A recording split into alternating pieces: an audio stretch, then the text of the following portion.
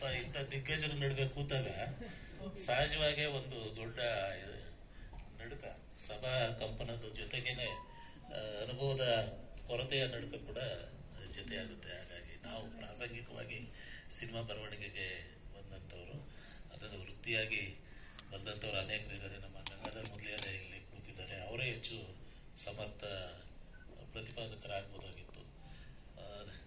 ಹಾಗಾಗಿ ನನ್ನಂಥವ್ರಿಗೆ ನೀವು ಅವಕಾಶ ಕೊಟ್ಟಿರೋದಕ್ಕೆ ಅಂತಾರಾಷ್ಟ್ರೀಯ ಚಲನಚಿತ್ರೋತ್ಸವದ ಎಲ್ಲ ಆಯೋಜಕರಿಗೆ ನಾನು ಮೊದಲು ಧನ್ಯವಾದವನ್ನು ಹೇಳ್ತೇನೆ.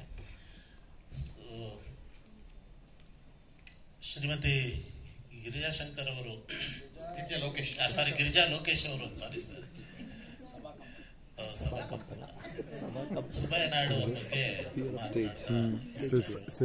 ನಾನು ಸ್ವಲ್ಪ ಒಂದು ಎರಡು ಮಾತುಗಳನ್ನ ಅವರ ನೆನಪುಗಳ ಜೊತೆ ಸೇರಿಸ್ತೀನಿ. ಕನ್ನಡ ಚಲನಚಿತ್ರರಂಗದ ಈ ಕಲಾವಿದರ ಒಂದು ಅಭಿನಯ, ಪಂಥವನ್ನು ಅಥವಾ ಅಭಿನಯ ಸ್ಕೂಲ್ ಆಫ್ ಆಕ್ಟಿಂಗ್ ಅಂತ ಏನು ಹೇಳ್ತಾರೆ, ಅಭಿನಯ ಪಂಥವನ್ನು ನೋಡ್ಕೊಂಡು ಬಂದರೆ ಕನ್ನಡದ ಚಲನಚಿತ್ರ ಇತಿಹಾಸದಲ್ಲಿ ಮೂರು ವಿಭಿನ್ನ ಸ್ಕೂಲ್ ಆಫ್ ಆಕ್ಟಿಂಗ್ಗಳನ್ನ ನಾವು ಗುರುತಿಸ್ತೀವಿ.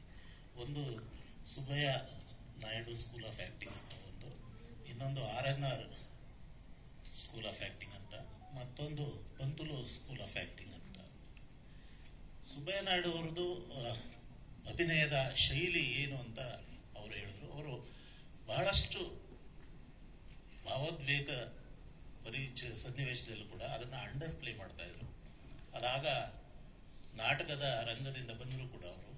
ಸಿನಿಮಾಗೆ ಟ್ರಾನ್ಸ್ಲೇಷನ್ ಆದ್ರಲ್ಲ, ಸಿನಿಮಾಗೆ ಎಷ್ಟು ಮಟ್ಟಿಗೆ ಧ್ವನಿಯನ್ನು ತಗ್ಗಿಸ್ಬೇಕು, ಮತ್ತೆ ರೀಚ್ ಆಗಬೇಕು ಅನ್ನುವ ಒಂದು ತಾಂತ್ರಿಕ ಜ್ಞಾನವನ್ನು, ಜ್ಞಾನ ಅವರಿಗೆ ಸಿದ್ಧಿಸಿದ್ದು ಅದು. ಪ್ರಜ್ಞಾಪೂರ್ವಕವಾಗಿ ರೂಢಿಸ್ಕೊಂಡ್ರು ಅಥವಾ ಅಪ್ರಜ್ಞಾಪೂರ್ವಕವಾಗಿ ಅವರಿಗೆ ಬಂದಿತ್ತು. ಯಾಕೆಂತ ಅವರು ಕೇವಲ ಕಲಾವಿದರು ಮಾತ್ರ ಅಲ್ಲ, ನಿರ್ಮಾಪಕರು,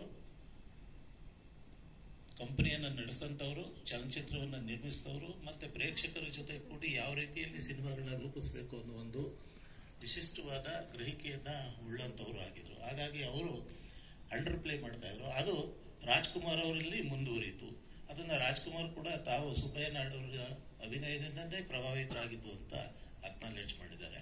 ಸೊ ಹಾಗಾಗಿ ಅದು ಒಂದು ಸ್ಕೂಲ್ ಆದ್ರೆ, ಈ ನಾಟಕೀಯತೆಯನ್ನ ತೊರೆದು ಸಹಜವಾದ ಮಾತಿನಲ್ಲಿ ಅಭಿನಯವನ್ನ ಹಾಕುವ ಮತ್ತೊಂದು ಸ್ಕೂಲ್ನ ಸ್ಥಾಪನೆ ಮಾಡಿದವರು ಆರ್ ಎನ್ ಆರ್ ಅವರು.